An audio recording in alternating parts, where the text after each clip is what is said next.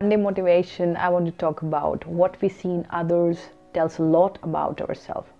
Our remarks about others says a lot about us. It gives a view inside of our own mind and our internal world. For example, whatever you have first impression about other people, it's really your own inside world, you know, whatever you notice first, whatever you're obsessed with, whatever you are scared of, whatever is your fear. It has nothing to do with that object or that person. It's really what is inside you. So when you give a negative remark or think or to people about their appearances, I see especially, you know, on the reels or celebrity or you know comedian and people have really negative things to share it's really coming from their own lack of self-esteem i mean the easiest way to boost your esteem is to pull somebody down you know so people do it unconsciously but it's really a behavior and a condition and we really need to think about it.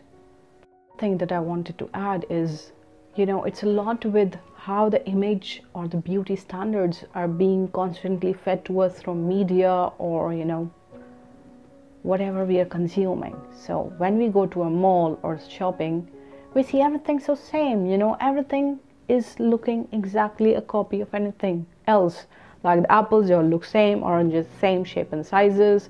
The clothes they look all you know same style. Houses of the people they are all same. So there's no you know something unique or different you know? Anything which is different is like not acceptable.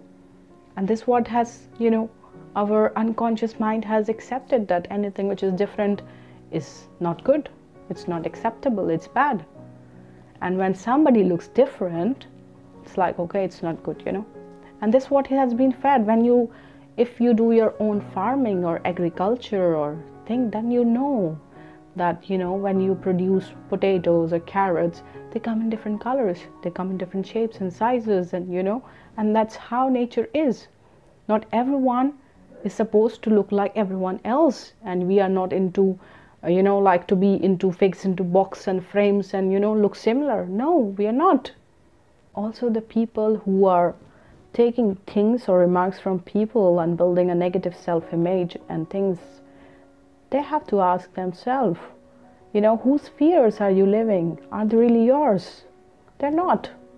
It's their it's a fear of other people. So just discard those fears and you know, just accept yourself and be happy. Be happy with who you are. Be happy with how you're created. And things and people come in different shape, color, and sizes. That's how our nature Allah has created the nature, you know putting someone down.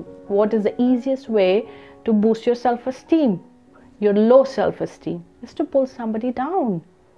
You don't do it consciously, you do it unconsciously because it's the self-esteem which is which is started to feel a bit low in presence of someone your own fears are triggered and you start to say something derogatory negative to other people which is not okay right Take care. Bye.